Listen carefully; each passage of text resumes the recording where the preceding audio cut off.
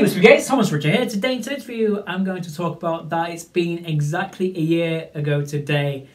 I saw Ed Sheeran live for the first time. Yeah, on the 10th of June 2022. I saw Ed Sheeran live for the first time at the Etihad Stadium. Uh, yeah, you know, my first time seeing Ed live, and you know, firstly, I was very nervous. I was very nervous to, you know, go. You know, I ordered tickets when September 2021. Yeah, it was 20, 25th of September 2021, I believe. I'm not sure. September 2021, I got tickets for Ed show when they went on sale, and yeah, I went with my, I went with my parents, my mum and dad, and it was it, Ed. Ed was amazing. You know, I went on the train. Uh, I think the first train was cancelled, and then we went on the next train afterwards. And you know, it was so so busy on that train. You know, like I just didn't like it. You know, like I'm not used to like yeah, literally people standing up, and luckily we were sat down on the train as well. And you know, uh, yeah, it was it was a good experience, but there was a couple of things that kind of ruined it a little bit. The train, of course. But yeah, um, I saw Trev, Ed's guitar tech, whilst I was walking to the merch stand. You know, that was amazing. Said, all right, Trev, all right, buddy. You know, I didn't take a photo because I knew who was working at the time, but I just wish I'd said a little bit more to Trev. But I understand he was working. He has to get back into the stadium. Uh, yeah, you know, uh, yeah, it was an amazing experience. I bought a lot of merch you know, I'll link the the vlog and the the merch haul video at the end of the video. You know, the two sides and in the link in the description as well. You know, of course the and then the opening acts were Dylan and Maisie Peters. You know, which I love the set so much, and one of Dylan's songs, "Nothing Ever Lasts Forever, Forever," and, and you know with Maisie Peters, you know I think my favourite song was Psycho. Yeah, I think, yeah. And then John Hughes movie as well, which is so good. Also, Psycho is co-written by Ed as well, which I just love so much. Dylan, well, doors opened at 4 p.m. And then Dylan came on at 6. Her set was half an hour. And then Maisie Peters came on at 7 p.m. Her, her set lasted for half an hour. And then wait waited for Ed, you know, to finally come on stage. And Halo came down, which was crazy in that. Um, yeah, you know.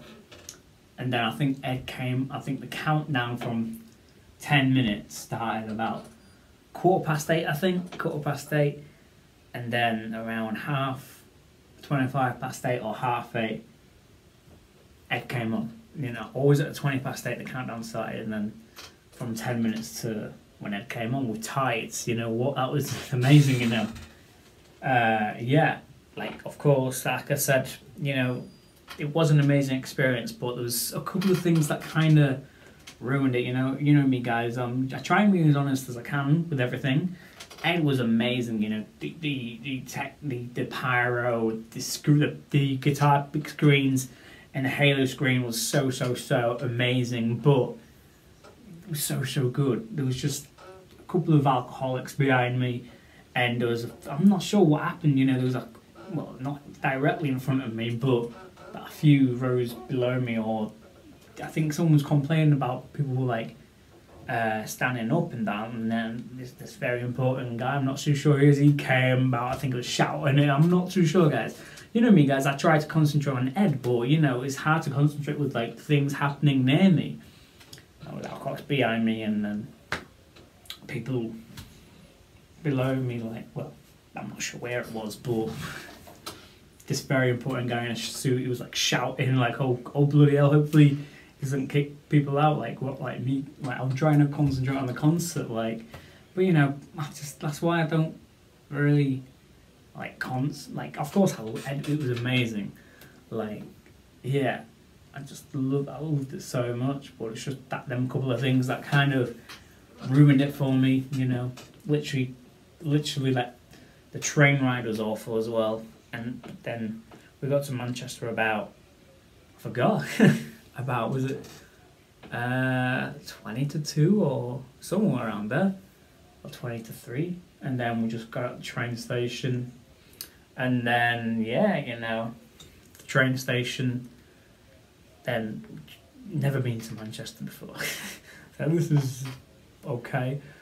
Uh, very, very busy. Went to toilet after the train ride and then found a taxi. Like, we went on a, well, taxi. The best trip was a taxi ride on the way home.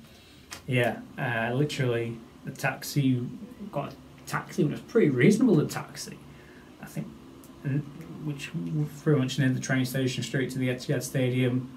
It was pr- pretty good. The the taxi ride, and then yeah, like with, like I got to we got to the stadium about was about 25 to 3 ish, half two, I'm not too sure.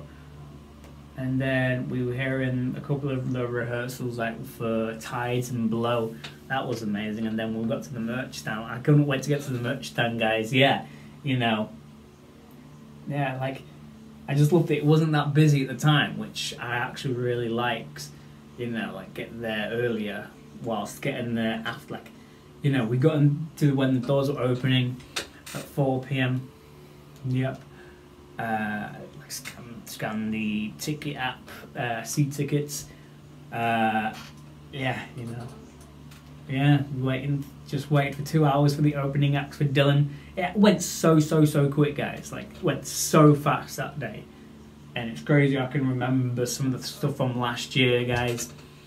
Uh, yeah, it was so, so good. Also, another bad, well, it wasn't bad but you know you can't really help because we didn't know what the stage looked like back then. You know, with the massive pylon thing what secured the one of the guitar pick screens. That was in a way. That was in a way. In my way, in my view, a little bit Or just directly just there. Didn't have much view, of a view of Ed as much, but it was so good. Like, yeah, so good. You know, but it's just a couple of people and the train ride was awful yeah, you know. But yeah. And then the best bit of the show was easily the encore with Shape of You, Bad Habits, You Need Me, I Don't Need You, you know. Yeah, I just like, yeah, you know. My favourite live performance was Is You Need Me, I Don't Need You. You know, with Ed just letting the fi- fireworks going off. So, so good, yeah. I just didn't care that point. I was just rapping to You Need Me and jumping to Bad Habits. you'll see in the video, well, link in the description and the two videos there, yeah, you know, and then so good. Yeah. I think hopefully when it comes back to Europe, I will, I would love to go to the Subtract show. Like, that would be amazing. Like, listening to Subtract from Boat to Hills of Aberfeldy and then the hits pretty much. That would be amazing. And, and, an intimate event. That is my that is that is my dream, guys. To see Ed at an intimate venue and maybe potentially meet Ed in person. That would be crazy, guys. Yes, that would be amazing. Say thank you to Ed, you know, for all the stuff he's done for me. That is the dream. I'd say, yeah. You know, like see Ed on the Subtract show, on the Subtract tour whenever Ed comes back to Europe, maybe potentially. We know we know the ticket's going to go go so quickly, and yeah, and maybe potentially meet Ed. That'd be amazing. Yeah, before or after this show, that would be good. Uh, small intimate theatre. That would be that would be the dream. Yeah, you know. Yeah. And also, in one of my old Subtract videos, that I actually said that the Subtract tour, like in intimate venues. I think that's for, that, I think believe that video is from 2019, and yeah, I'm gonna play you guys that little clip now. That that's why I'd love to go to the Subtract tour in a small intimate venue. I think Ed won't play massive venues. I think he will play back to theatres again, just like he did on Plus, and he won't play no stadiums on this tour because like he's already done stadiums and it's the most attended and most grossing world tour of all time now with the Divide World Tour, which I'm so happy but sad that I haven't that I haven't I haven't been to an Ed show before, but I don't know. I want to try and go to his subtract show, but I'm not too sure. Yes, yeah, and theaters would be good because just only a small crowd. It won't be as big as a stadium or a park or something.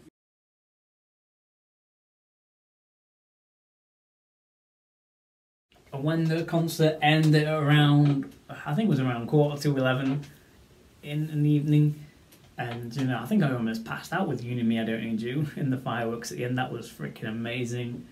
And then yeah, we were waiting for my dad's friend to to pick us up and then to drive us back home. And I think I got I think we got home about three o'clock in the morning. I think it was about half two, three o'clock in the morning. Yeah, you know, it was crazy. You know, as we didn't book a hotel or anything, as as you know, that I think organizing everything like I think it stresses me out. I think, yeah, yeah, stresses me out and all that lot. Uh, yeah, organizing everything like prices as well, like money wise and everything. It just, just yeah, organize organizing everything like months in advance, and you know that things could go wrong, like train getting cancelled, and I like for me personally, I like things to go according to plan, like like but you know life life is like doesn't go according to plan.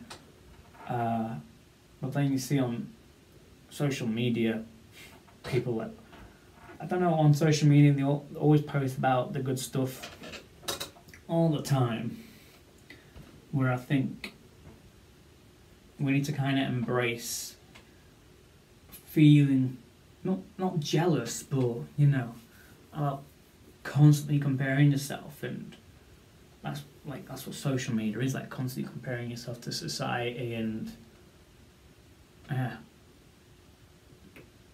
which isn't great, but you know, that's what it is. You know, if you're always on social media and yeah, like I do want to go to more stuff, but I know that I can't because I enjoy just relaxing, having a balance, you know, like just relaxing and not like go go go go go all the time.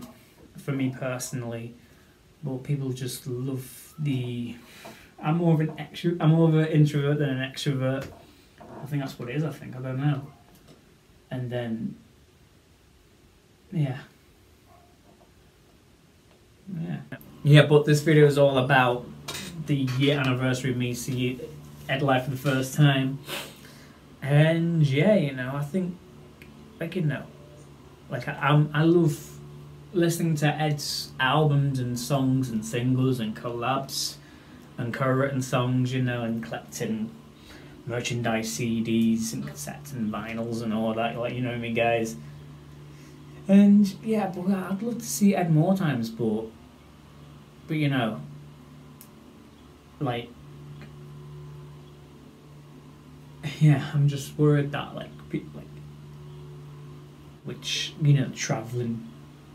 You know, I don't like traveling as much and everything. I'm more of a home person, so I'd love to really like see Ed at an intimate venue on the Subtract tour whenever Ed comes back to Europe.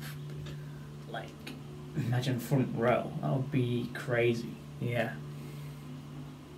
Which, yeah, that would be amazing. And, and the dream to see Ed on the Subtract tour. Maybe potentially meet him saying thank you for everything that he's done for me. Yeah. And yeah, you know, see what the future brings and you know i'm not sure if i'm seeing them you know you just don't know do you if you're seeing them or not eh, just, i don't know it's just a mental block in my block in my head eh, like you know i am happy for everyone but i wish i i, I went to more shows but but yeah but i'm just grateful for everything even though i've been to only one show which was last year and yeah like like I would love to see Ed live a lot of times, but I don't think I can mentally do it. Like you know, always traveling on my own. I'm not used to it pretty much, and so many people can do it, and uh, which I know that I get anxious and that, and whilst even, well, I'll go into it because I know that, um, yeah. It's just, for example, when you see on social media, it's like people going to shows and that. Uh, you just wish you just compare yourself and I know I'm a young person and everything, but always going to shows doesn't really make yourself more a fan than others. Like, it doesn't. it doesn't matter how many shows people go to, but um, yeah, this is. I don't think this is going to go in the video, but if it does, don't hate me for this. Is you know, I, I, I understand that people go to shows for distraction and have fun and everything, but but I just easily compare myself to other people at times. And I've felt like this ever since the divide near the end of the divide tour. We're seeing like seeing like nearly the same near the same people all the time and I'm happy for people. I'm happy for people. Don't get me wrong, but when I'm just like I'm so grateful that I've seen Ed once, just once, and I'm not. It isn't guaranteed that I'm going to see him next year when he comes back to Europe, but I would love to go and see Ed on the Subtract tour. Yeah, it just just so awkward. just very, very awkward and everything like that. Uh, yeah, I think we need to, you know, when you look when you scroll on like social media, people are always doing stuff and they're going to concerts all the time, multiple shows. Yeah, I'm happy for people, but I just compare myself too much. I think, yeah. Um, but uh, you're a, we're a fan either way, and yeah, doesn't. Everyone's different in their own way, and it seems like social media in society try and makes everyone the same. Like the norm, like the norm when you always scroll on social media or or at all these concerts and that, and you know, traveling all the time, and what makes me like anxious and that. Yeah, I think I'm gonna end the video now, to be honest. But you know, with my experience for seeing Ed, Ed live for the first time, Alcoholics behind me, there was a situation there in front of me and then a train ride I didn't like. Yeah, you know, on social media, you know, we don't you don't see where I'm personally coming from, and I'm not sure if anyone has had like a bad concert experience where it like not drowns you, but mm. but you know, you wish it was be- a bit of a better experience as such. I don't know. Hopefully, this helped someone, or maybe a few people I don't know, or I'm not sure what this video is gonna do. I hate comments. I'm not sure, guys. I'm not sure, but I'm happy for everyone that they go into shows. But I think that's the first time me letting that out. I'm not. I don't know. Uh, of me like. Well, everyone's a fan in their own way.